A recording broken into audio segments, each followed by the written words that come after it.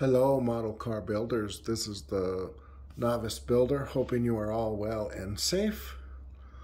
I am sharing with you um, some progress on a challenge slash invite by Kim's Custom Garage for uh, dedication to the 32 Ford.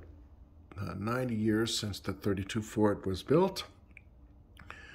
So I saw his video and I thought I would uh, do uh, a Revell kit, the uh, special edition 32 Ford 5-window coupe. So this is my progress so far. We have several months, but I decided to go ahead and get started. So this is my um, 32 Ford, what I've gotten uh, accomplished, or what I've been able to accomplish so far. And I started with the paint job and it looks to be going for me. Uh, well, so far I had a little issue on the bottom of the driver's side by the door. Can't really see it unless you look at it. Probably later on you'll be able to notice it. But I've got this purple um, is what I've, I'm wondering if it looks purple to you. If you can send me a comment and let me know if it does. Um, look this metallic uh, purple to you in the video. But um, I wanted to share something interesting about this paint. It's an acrylic.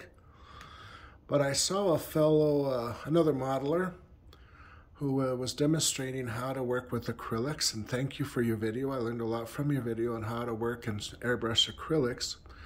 But he sprayed this, and I've used this and kind of the reason why I have this uh, Bel Air, but it's called Blue Flash.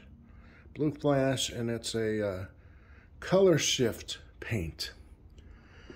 But interest, uh, interesting enough, I painted this Bel Air, the same Blue Flash, and if you notice, it has some purple shades in it, because it is a color change paint.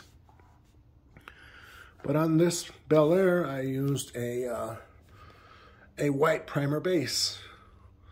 And this uh, gentleman who was demonstrating how to use uh, airbrush acrylics uh, discovered just by accident, by trying, he was uh, demonstrating, as I said, how to use um, acrylic airbrush paints. And he sprayed the base black. I used a transparent black and then when he went over it with this blue flash, this is what he got.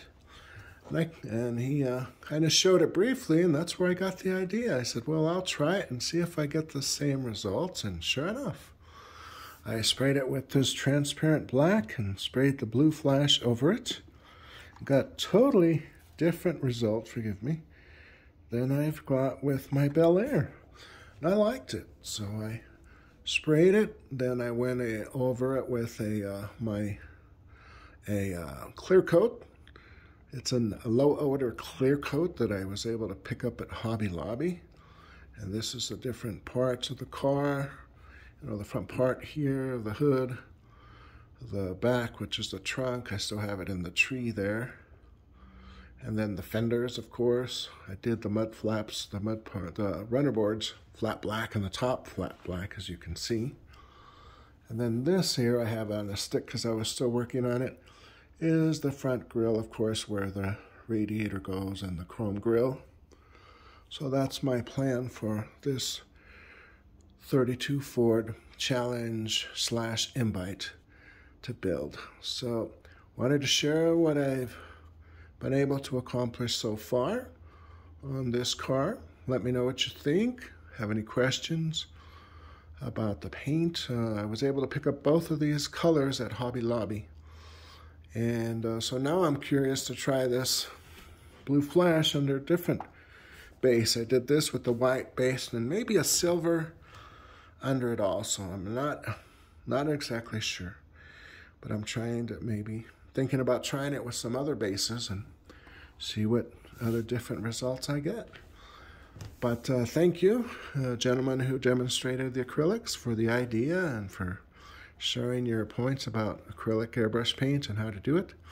You gave me a good idea and I appreciate it. This is the results that I was able to get. So this is my build for the 32 Ford uh, dedication, I guess, or uh, dedication or remembering the 32 Ford. This is a five window coupe, as I mentioned, two in one with uh, Revell. Not sure if I'll choose the same wheels or different wheels, but this is uh, the paint I chose for it. So thank you again. I'll let you know how things are coming along as it progresses in the build. Hope you're all well and stay safe, and we will talk soon.